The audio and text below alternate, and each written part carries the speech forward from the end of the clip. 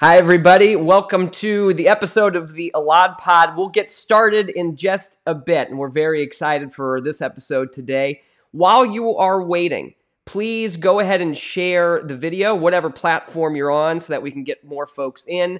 If you would like to submit your questions, you'll be able to do that via Facebook, Twitter, YouTube, or also text message, and we'll have all that information up for you. But while you're waiting, go ahead and share so we can get more folks in. And you can do that right now.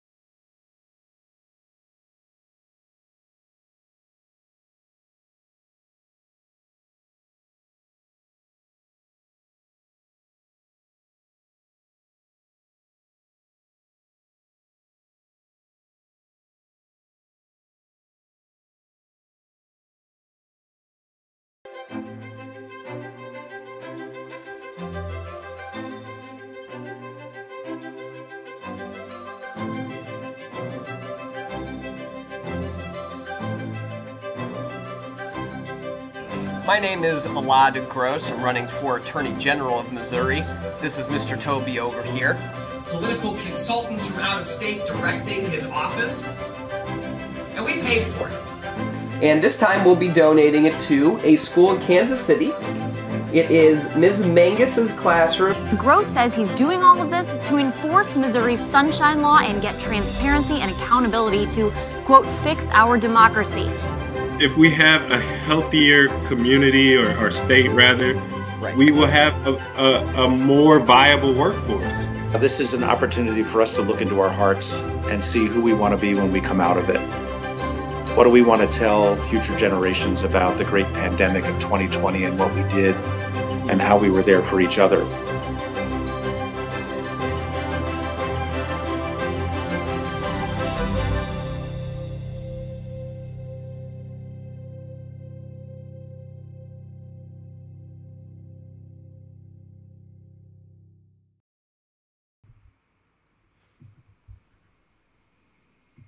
All right, everybody, welcome to the Elad Pod. We are very excited today to have our guest, Thomas Abt. We will be talking about violence, uh, strategies to reduce violence, um, and, and a lot of ways that those can apply right here to Missouri. This is a very important issue for so many of us in our state. Um, I've often talked about this, um, having taught kids for about 13 years now. Unfortunately, so many of our children are impacted by this directly and indirectly in so many ways. Um, so, really excited to have him on. I know a lot of you were interested in asking questions and bringing those today. If you are on Facebook or Twitter or YouTube, wherever you are, go ahead and comment and let us know you're there. Uh, you can put your questions right into the comments and we'll see those on here. And some of you know we can even put those directly on the screen so we can we can share everything that you all are thinking uh, and uh, make sure to get your questions answered. So uh, thank you all for coming. Make sure to share the video. Let people know that you're watching uh, so that we can get more folks in on this conversation. So let me bring in Thomas. Make sure he's there. Well, hello, sir. Can you still hear me? I can. How are you? Great. I'm great. Thanks so much for coming. I appreciate you making the uh, the the virtual trip to Missouri. So uh, here we are in the socially distanced world. But uh, no, I really do appreciate you taking the time to be here. Um, so Thomas is uh, he's a senior fellow at the the Council on Criminal Justice. Um, so I, I, know that's it's a it's a very nice sounding title. Could you tell us what you do in that role? Um, what what your I guess you're obviously doing a lot of research on this topic, but what what's your main responsibilities in that role? Sure. Uh, at the council, uh, I've just transitioned to the council uh, a few months ago after spending five years at Harvard, uh, during which time I, uh, I wrote this book called Bleeding Out. And, you know, the council is really one of the nation's leading sort of policy making advising bodies. It's sort of like the Council on Foreign Relations, but for criminal justice. Mm-hmm. And so there, I'm continuing to do a lot of the work that I've been doing and study the issues I've been studying, but with a more concrete focus on actual policy and uh, putting good policies into play, into action. Mm-hmm. Yeah, and you've worked.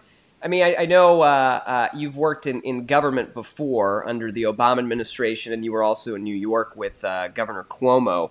Um, so I guess is that did you go directly from there over to Harvard before this position, or were you working? Have, have you been working with other government entities at all, too, in addition to those?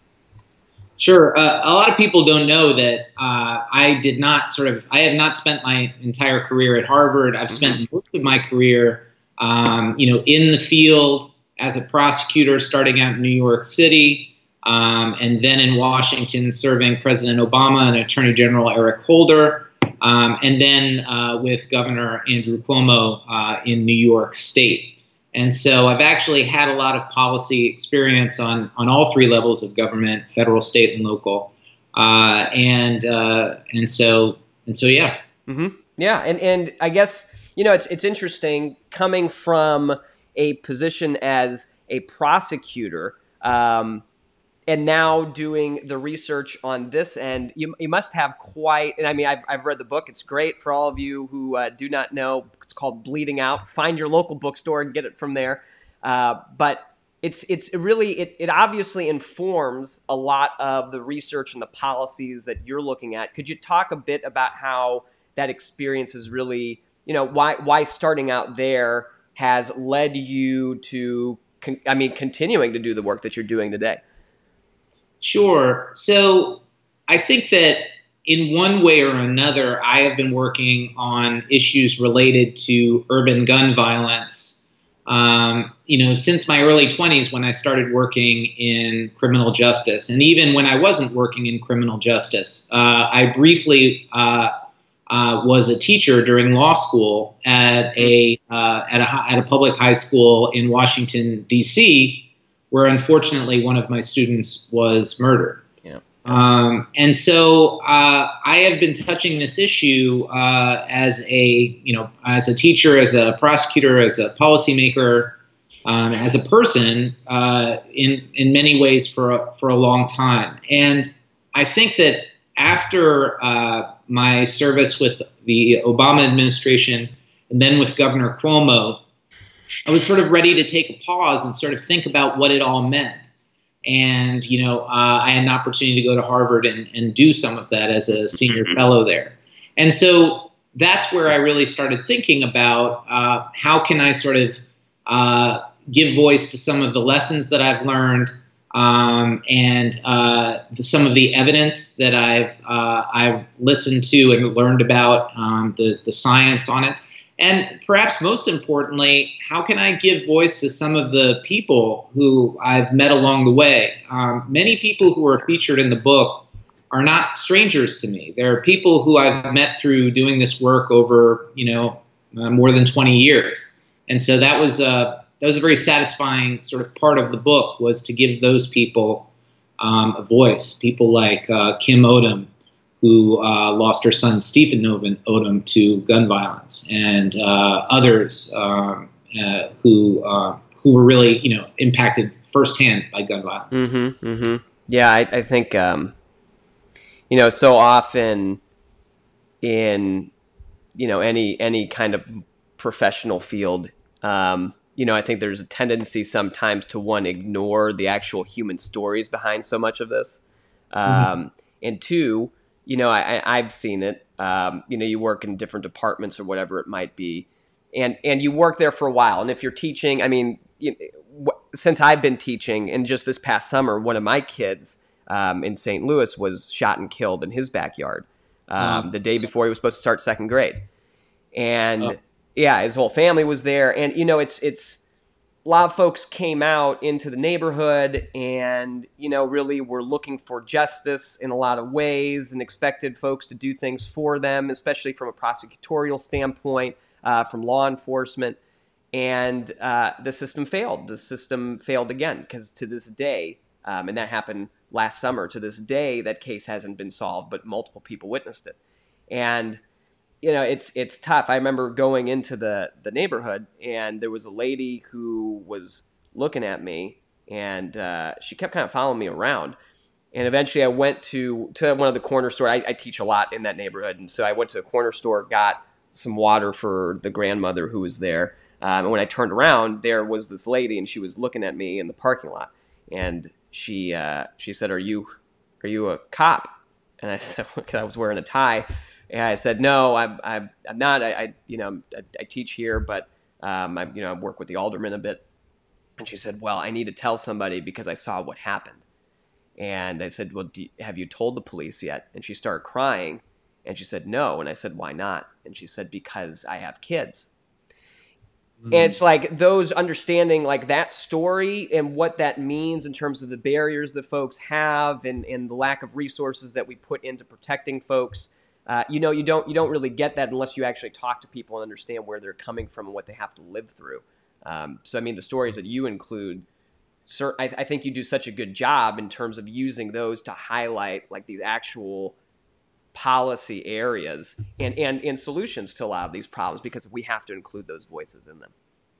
Yeah, well, I think that that's a, a one of the things that's sort of so compelling about the field of gun violence and mm-hmm. trying to save lives through reducing gun violence is it really has this uh, sort of uh, heart uh, and mind balance. You know, it's it's part art, it's part science, and you can't uh, you can't approach it purely scientifically, but you also can't approach it purely through emotion.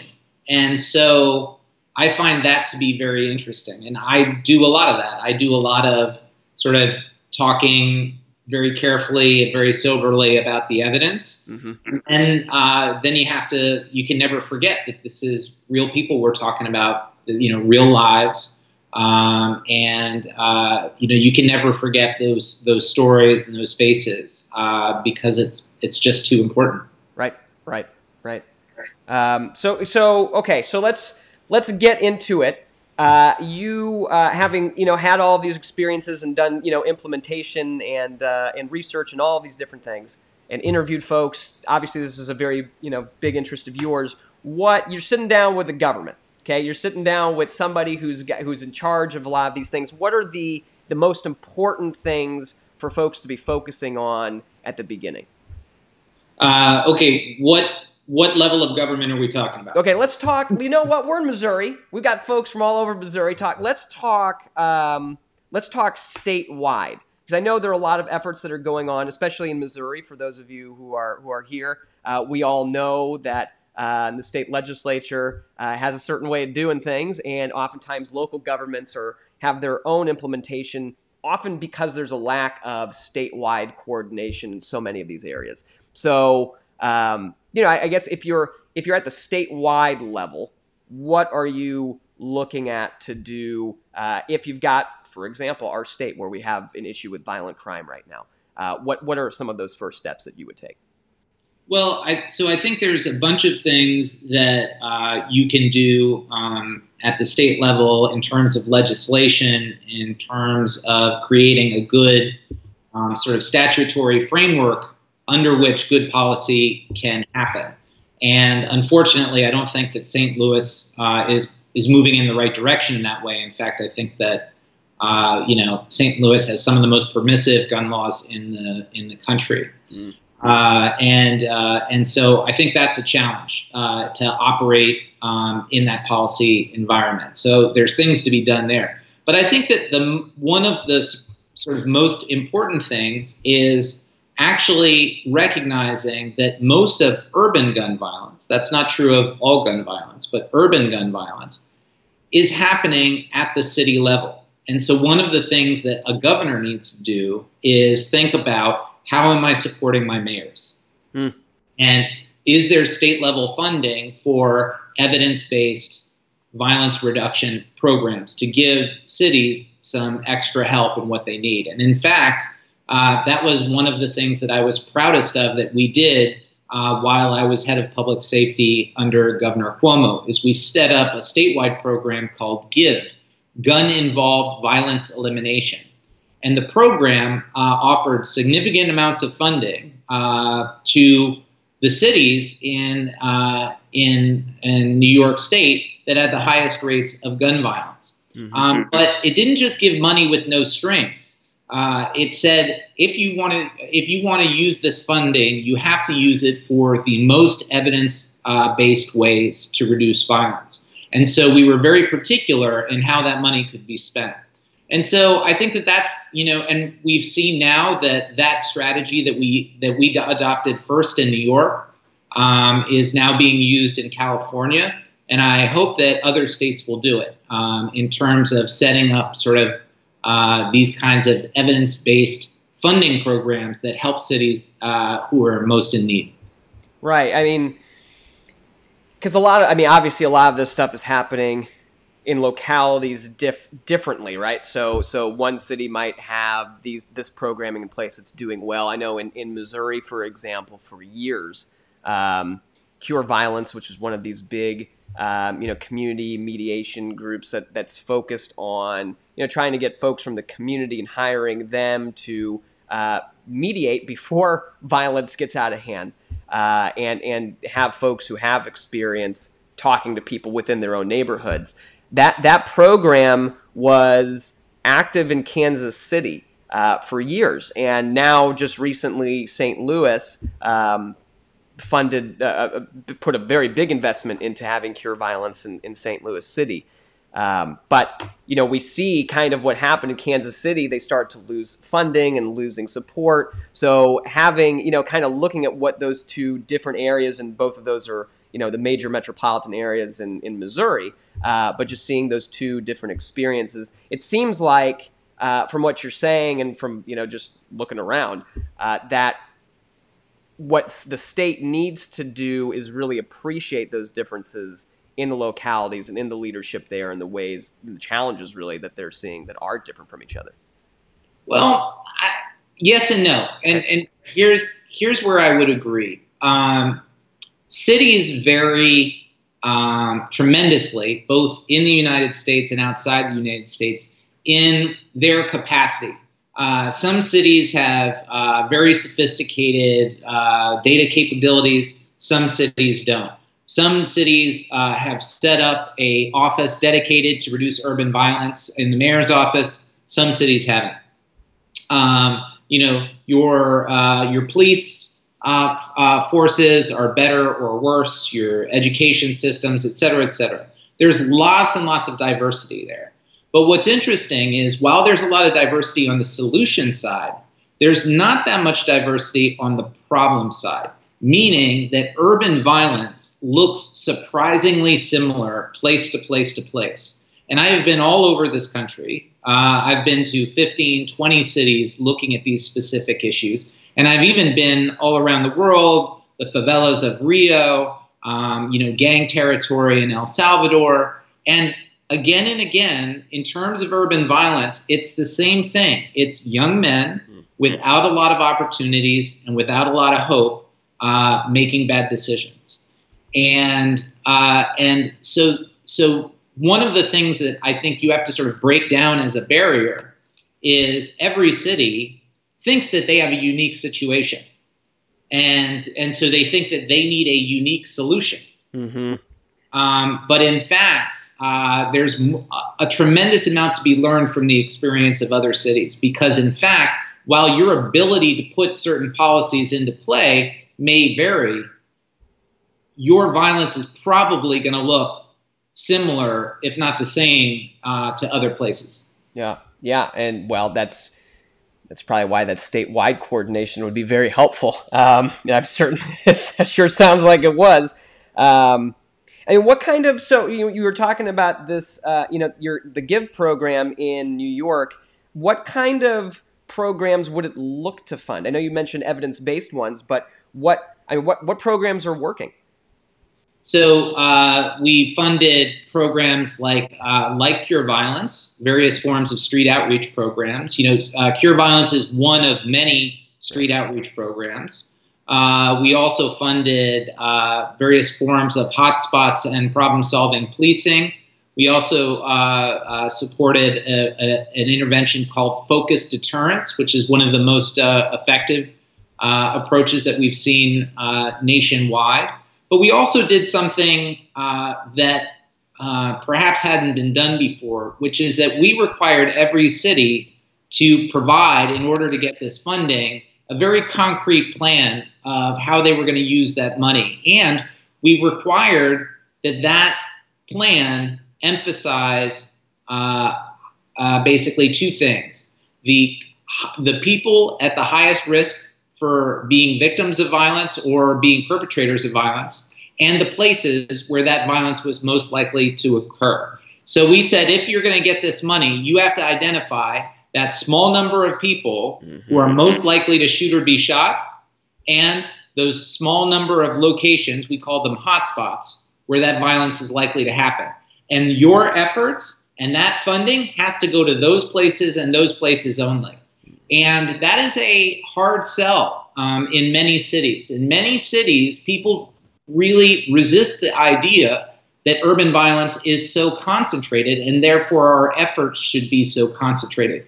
But in fact, in St. Louis, in Kansas City, in LA, in New York, again and again, a surprisingly small number of people are responsible for a surprisingly large share of the violence. You know, in in uh, you know, uh, you know, it is less than 0.5 percent of the city's population that is going to be responsible in city after city for 50, 60, 70 percent of all shootings. And so, you know, not devoting your time and energy and resources to those people and places um, really waters down your effectiveness. Mm-hmm, mm-hmm. Let's let's talk about that because I think that that is a a criticism, and especially in areas where there's probably a lot of distrust between uh, community members and police, which unfortunately happens far too often in, in our country for a lot of reasons. So when we talk about hotspot policing, you know, one of the one of the questions that I've I've I've heard from especially law enforcement officers actually is, well, uh, you know, if we do hotspot policing, won't folks just move to a different spot? Like if we're all focused in this one area, won't people just well, let's just go somewhere else and, and do the same thing? What what are what's your answer to to that criticism? Right. The answer is is that we've been studying this problem called crime displacement for mm-hmm. 30 years, and overwhelmingly, crime displacement does not happen. And in fact, neighboring areas will benefit when you focus on crime uh, crime hotspots that are nearby. And the, and the reason is is because urban violence, the way I describe it, is is sticky. There's something sticky about these particular people and these particular places. It takes decades of disinvestment in a certain area to create a violence hotspot. That that is not going to change overnight. And what we see in city after city is the same blocks, the same locations, the same housing projects are the most violent areas again and again and again, year after year.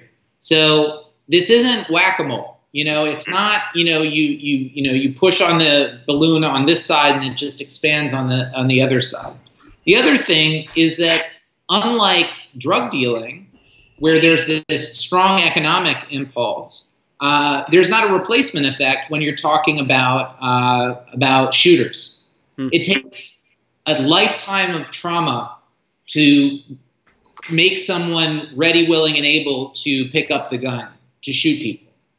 Um, whereas, and so when you when you persuade a shooter to change their life, or you take them off the street uh, through incarceration, another person, another shooter doesn't step right up. Unlike drug dealing, where as soon as a drug dealer is taken off the street, there's an economic opportunity, which if there's a lot of poor people there, they're going to make use of that opportunity. Mm. And so it is it makes a lot of sense to target the highest risk people and places. Yeah.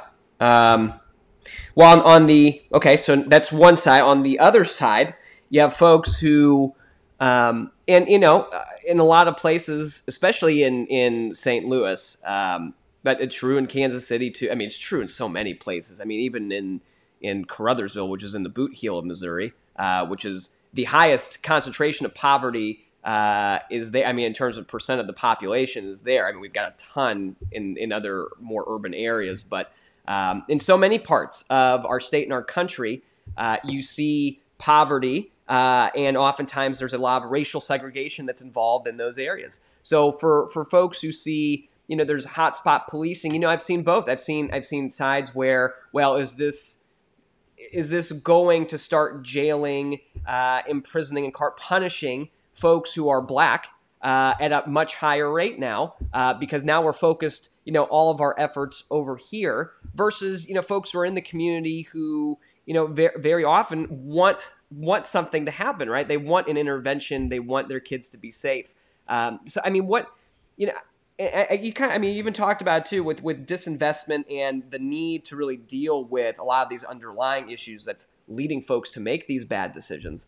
Um, you know, is is there something in this model that can also not just be punitive, but that's also preventive and and can make sure that folks are having that opportunity. Uh, absolutely. Uh, there are three fundamental principles of violence reduction. These are the principles that I lay out in the book. The first is the one that we've been talking about focus, being focused on the highest risk people, places, and behaviors. Um, the second principle, though, is speaking to exactly what you're talking about, which is balance. In terms of interacting with these hot spots and these hot people, there has to be a balance of positive incentives and negative incentives. It can't be all carrot, it can't be all stick. And so, yes, you do have to have the t- deterrence of effective law enforcement, but you also need positive alternatives. And you need treatment through cognitive behavioral therapy. You need services and support, and you need to meet people where they're at and, and address their immediate needs. But I think that, and so you absolutely do need to give people things to say yes to, as well as things to say no to. But you got to be careful here. And this is one of the hardest things to understand about urban violence reduction, which is you can't work from the outside in. You can have a balanced approach but that doesn't mean uh, sending resources to everyone in a poor neighborhood or dealing with broad structural issues like poverty, inequality, structural racism. I'm a political progressive. I believe in addressing all of those things, but that's not the way to make a difference on urban violence. On urban violence, you have to go right at the problem and you start at the inside and you work your way out. Hmm. You don't work on the outside and you work your way in. And there's a few reasons for that.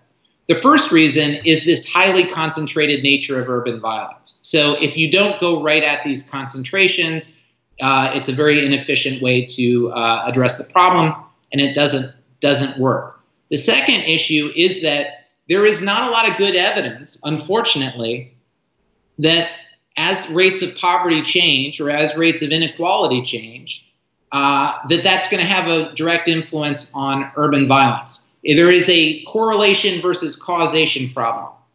So, for instance, uh, you know, in the in the last recession, uh, right around 2008, 2009, you would have expected to see violence go up during that time because people were poorer. That did not happen. It stayed flat or maybe slightly declined.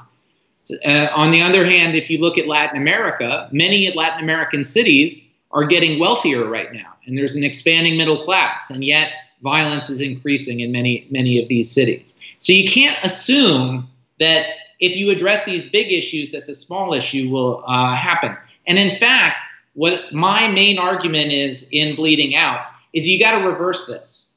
What you've got to say is instead of saying if we address all the guns and all the jobs and all the schools and all of the uh, you know uh, biggest problems, then urban violence will somehow magically take care of itself.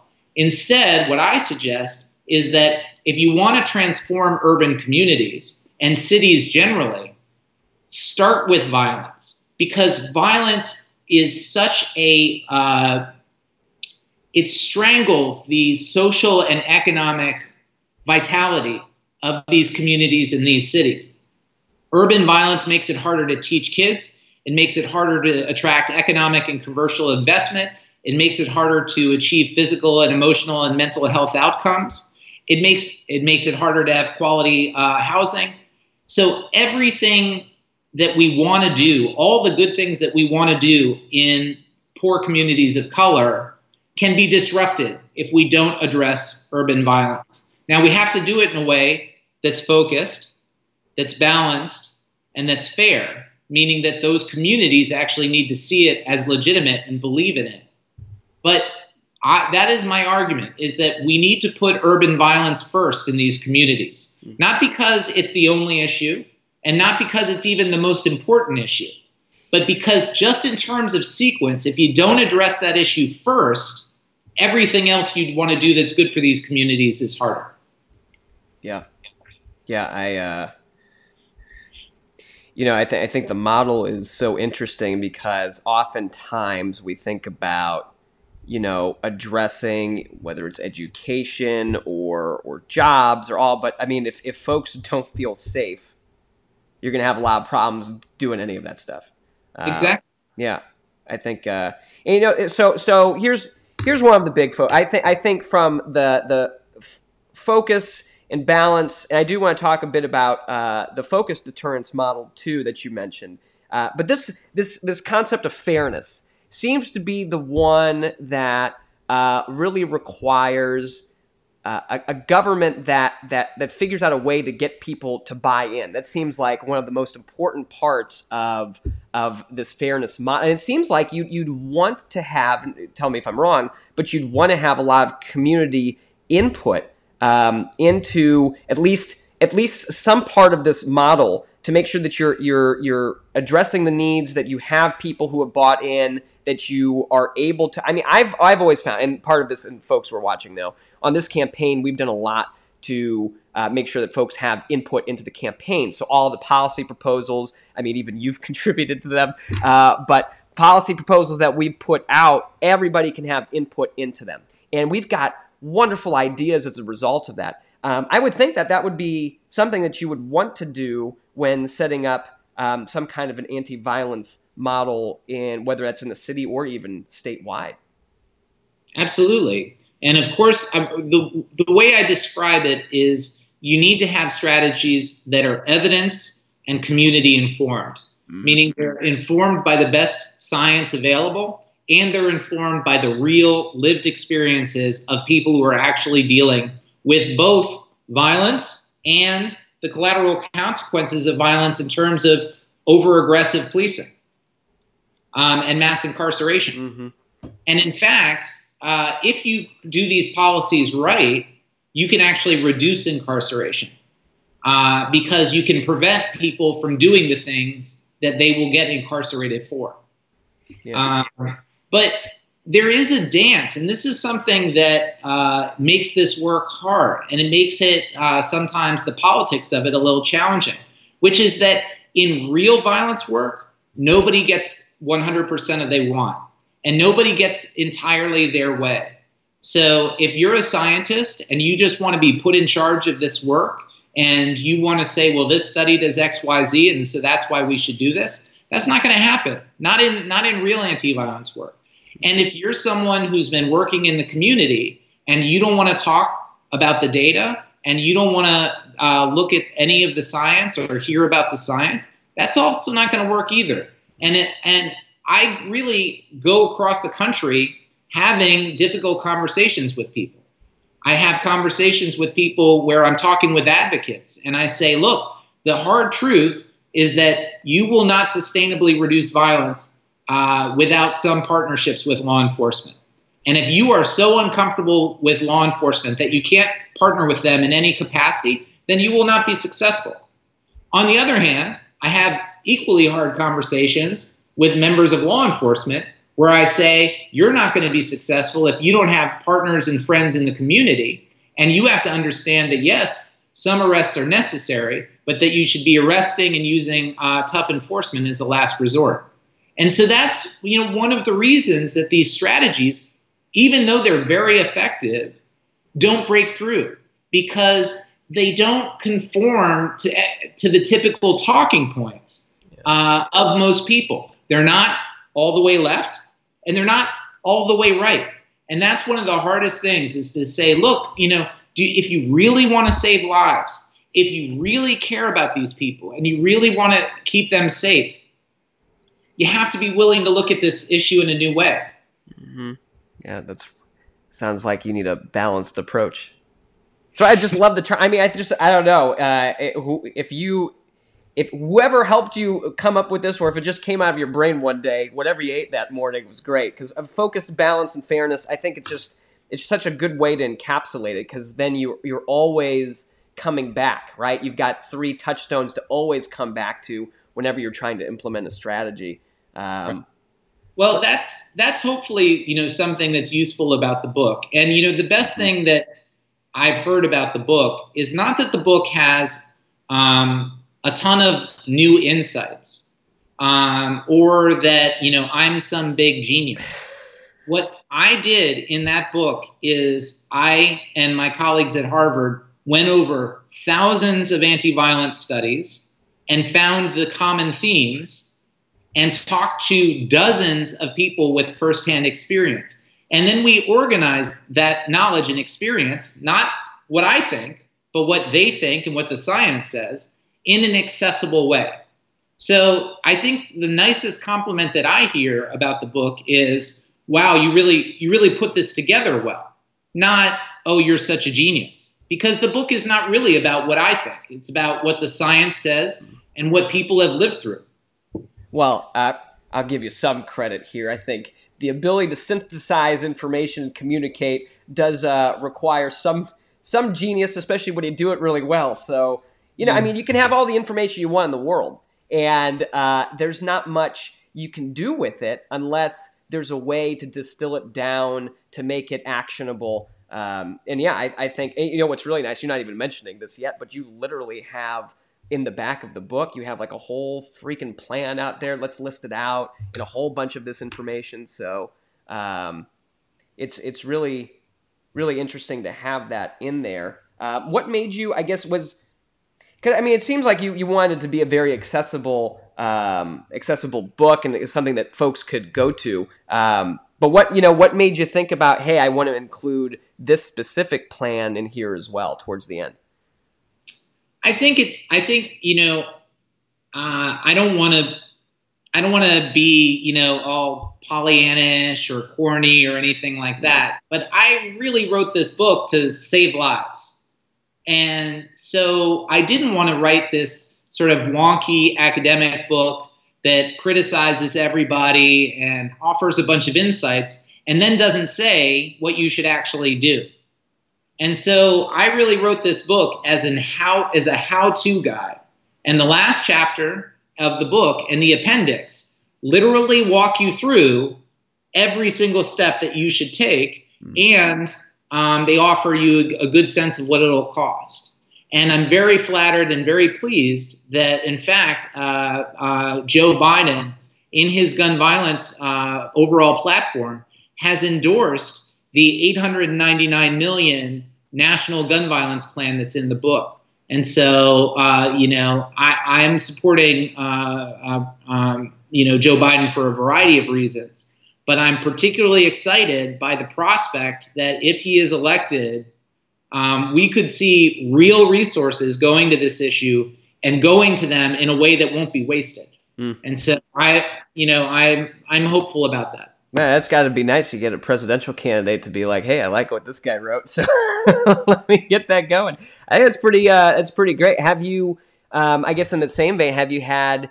Do you know, folks who are. I mean, a lot of folks who work in the Department of Justice. Um, you know, oftentimes they stay to you know different administrations. Um, you know, I've got a bunch of friends who are at the Attorney General's office here in Missouri who have been there. You know, no matter who the Attorney General is, or at the you know DOJ locally.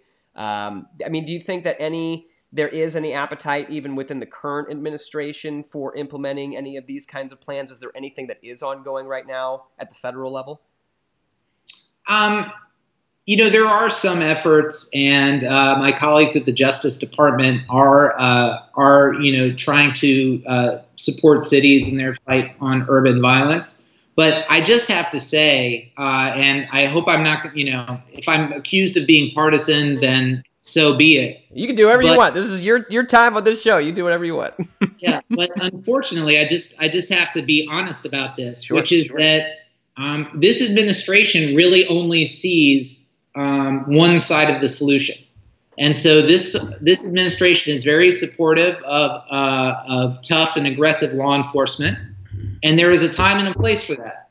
But in my time during the Obama administration, we supported law enforcement, but we also supported community based programs. We were also working to reverse mass incarceration. We were also trying to address the school to prison uh, pipeline.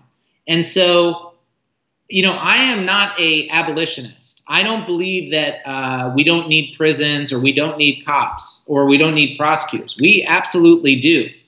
But we need a balanced solution.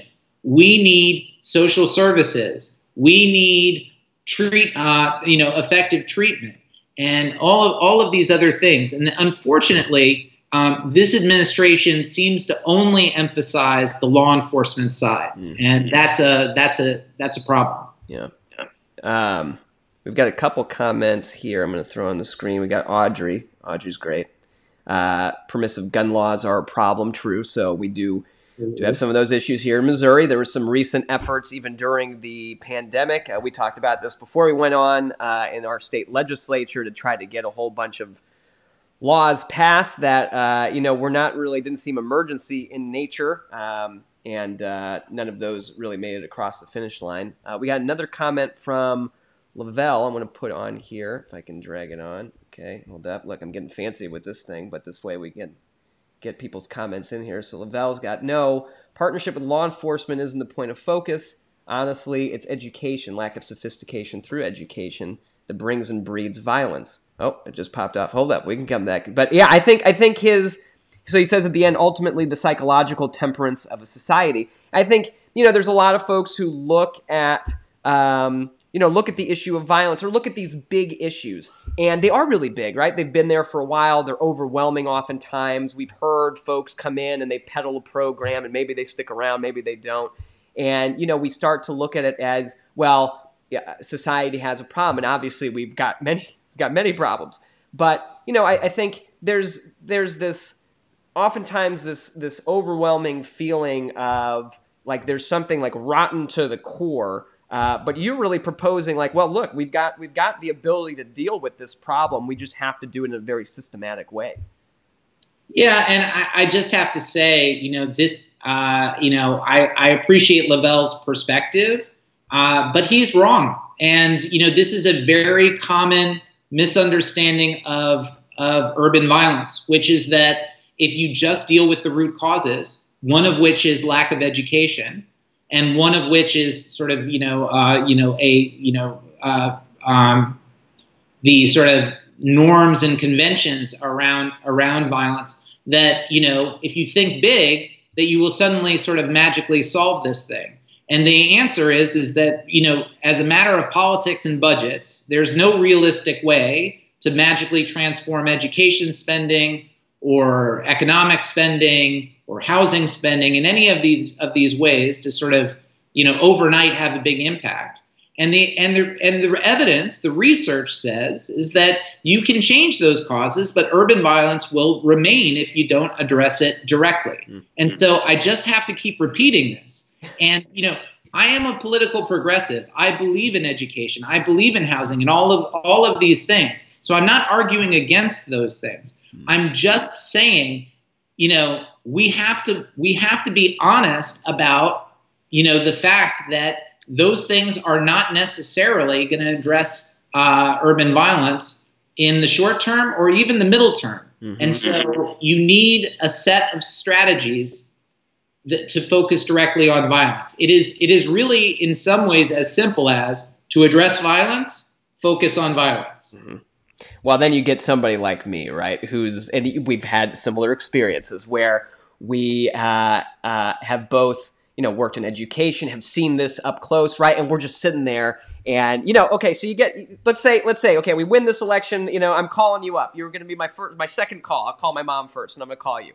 And then, and then say, hey, look, um, uh, here's what we want to do. But you know me now, and you've heard my stories and the experiences I've gone through. And oh man, like I, you know, I'm with Lavelle here, and I just, I really want to to deal with this on so many different issues, right? I, I want to go and hear, and, and when I hear you talk about housing, which is a big issue.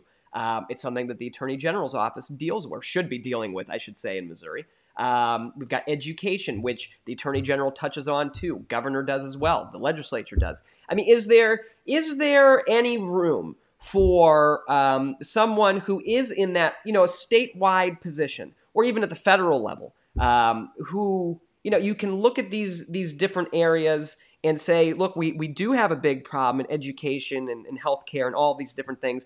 Is there a way to coordinate those efforts to work better with an anti-violence model, or am I just am I just is, I'm just letting my heart lead, and I should you know I should really be talking about violence first um, before I even get to that point. Uh, yeah, the the the the hard but real answer right. is yeah. no, you should not create a massive, comprehensive er, er, uh, effort that deals with education and housing and this and that and the other thing. And that, you know, at some some point we'll deal with violence. That we've tried that. It's been evaluated many, many times. It has not worked. But here's what you can do. You can use your bully pulpit and and especially as a prosecutor, um, make a very compelling argument that for these very small groups of people and places, we need to pair, uh, you know, focused, you know, deterrence and law enforcement with real alternatives to violence. Mm. But the but the difference is is don't make this about everybody.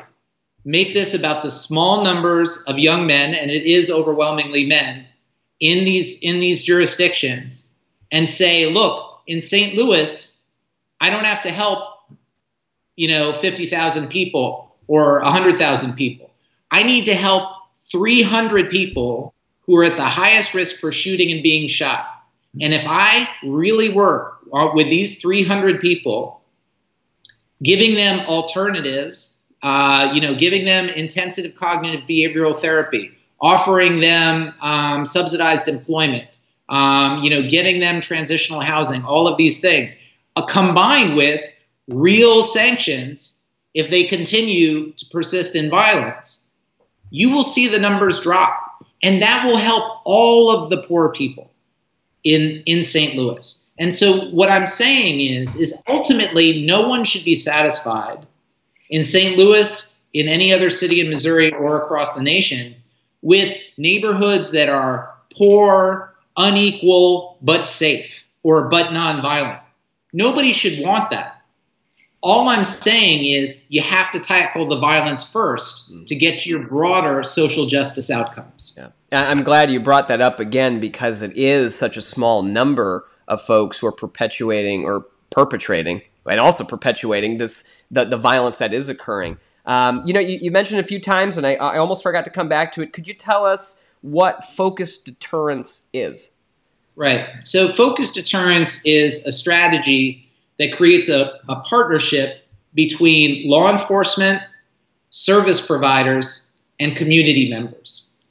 And this partnership then identifies the people and places, the people who are at the highest risk for gun violence, the shooters, those who are most likely to, most likely to shoot or be shot, and then confronts them, talks to them, and says, look, uh, if you let us, we're here to help you. And if you make us, we're here to stop you. And uh, in this conversation, they say, here are all the services that we can offer you. Here's all the things that we can do to, you know, uh, to make your life easier. If you stop, uh, if you stop shooting, stop killing. You, you, you often introduce them to members of the community who say, we love you, we need you, but the violence must stop. And then you and then you talk to them candidly about all the sanctions and say, look, if you continue to persist in violence, we will come after you and we will you will be incarcerated. And it is that balance of carrot and stick that really starts changing and hearing that it's not just the police saying it. It's the service providers, it's the moms who have lost sons, and everybody saying, look, you have a choice here. You know, it doesn't have to be this way. And if you make the right choice, we are here to support you. But if you make the wrong choice, we have to do what we have to do because we have to keep people safe. Mm-hmm, mm-hmm, yeah. Um, Audrey had uh, a few other questions I think that we can put together. Uh, her big ones are, you know, it's about community organizations, so churches, for example, nonprofit organizations, uh, approaching this from you know the the side, I guess almost like a non-governmental side, but also uh, from families and, and having you know folks within that community being a part of this. Um, and then finally, uh, this is I mean this is this is the the question: Does this take a generation? Uh, right. St. Louis has a very short vision of working with these issues. Um, and I think that's oftentimes very true because you've got elected officials who are trying to get reelected or whatever might be. Um, sure. What what is the timeline on these kinds of things? Right. So uh, let me take the the first is- issue, the the last question first. Right. So uh, no, you can make an immediate difference on these issues. You can start reducing violence essentially today. Now, what I, what I mean by today is most of these initiatives take about six months or a year to plan and get on the ground. So you so no you can't sort of you know start next weekend but after that six months to a year you can uh, you can expect to see violence start to decline right away. And i think a conservative estimate as i put it in my book is about 10% a year every year. Now that may not sound like a lot but over eight years two mayoral or presidential terms that ends up being more than 50% reduction in homicide. So you can turn a city around in eight years if you keep your eye on focused on the prize. If you stay focused, balanced, and fair. And to Audrey's question, um, absolutely, uh, faith-based leaders and organizations play a role. And you know, bringing in um, community members and family members plays a role. But I think the issue is it always is about partnerships it's not about just the community and it's not about just the government. It's about them working together. And that is what's hard is people want to work on these things, but they want to do so in their silos. Mm-hmm. They want to say, "Oh, well, you know, I'm happy to uh, to to get involved, but I want to do things the way I've always do things, and I don't want to work with people who maybe I'm not used to working with." But that is not the way this works. I, when I have seen this work, I have literally seen former gang members sit down with gang officers who five years before they were chasing each other around in the community and they hated each other. and now they're working together on urban violence urban violence issues. And so if you're not willing to sit down with someone who maybe at the outset you don't trust or you don't like um, and try to get to know them and try to work with them. This work is really hard. Yeah. And yeah. but but I have found that enormously rewarding. Look, you know, I'm a you know, I'm a you know, I come from a upper middle class background, you know, in Cambridge, And I have met over 20 or 30 years so many people who are so extraordinarily different from me, you would think, by the way they grew up or what they've been through or these things. And now some of these people are some of my closest friends. Come over to my, you know, I know their family members, they know mine.